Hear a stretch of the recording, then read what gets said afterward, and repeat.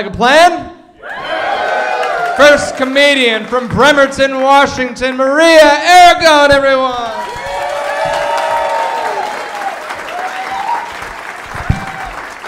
Hey!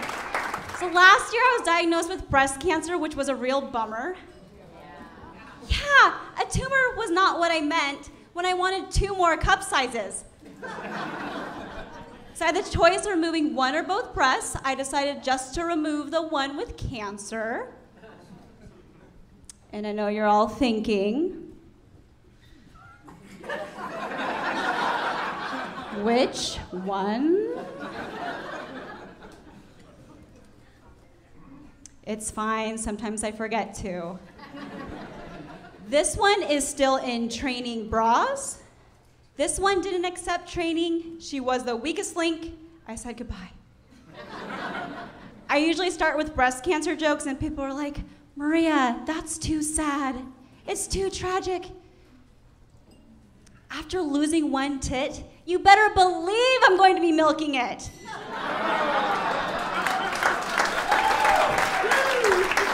yeah, one boob, I have to milk it twice as much. Mardi Gras beads, twice. Don't worry, guys, I'm cancer free now. Thank you. No radiation, no chemo. No, I'm not a lesbian. The short hair is a lifestyle choice. yeah, um, no matter what I do with my hair, I'm not hit on by men or women, but not even when I flash my Subaru keys. Okay. So, no radiation, no chemo, no homo.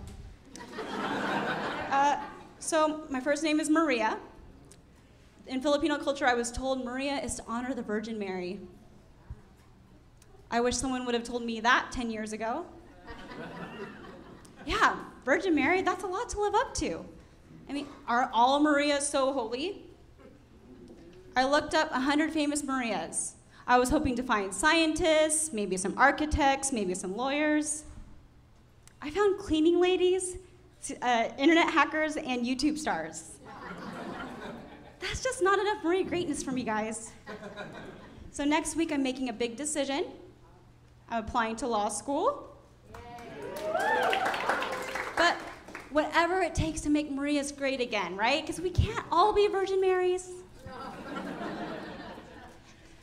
Growing up, some kids used to call me Marie for short. My name's Maria. I didn't really like that. I would say uh to add the A to the end. You know, like Marie, uh.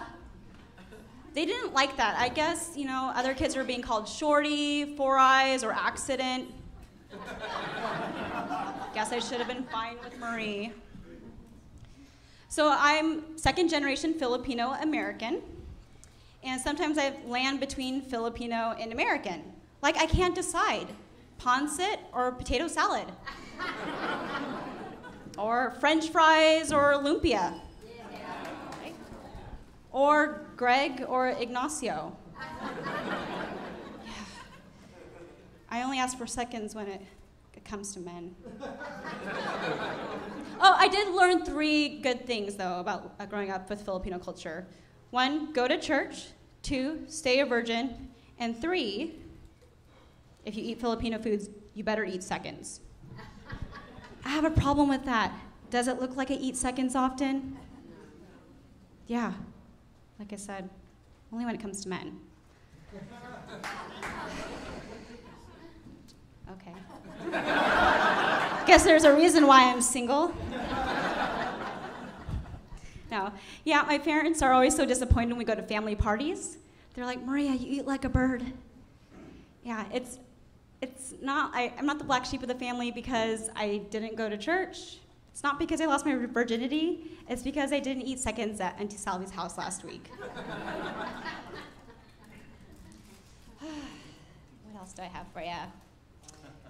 Um, oh, yes. So one of my friends said, Maria, don't date other comics.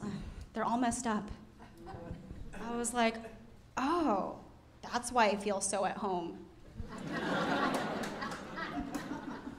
Yeah, and I was thinking, you know, with the with the whole man to woman ratio in stand-up comedy, like I should be getting hit on a lot more, right? Uh, my friend, uh, he walked me into my car one night, and he was we were after a comedy show, and he was like, "Oh, Maria, so you drive a Subaru?" I guess I'm not dating anyone because they think I like to lick the labia. Breast cancer taught me a lot, guys. YOLO. To me, it means you only lost one. That's my time, guys. Thanks so much. Have a good night.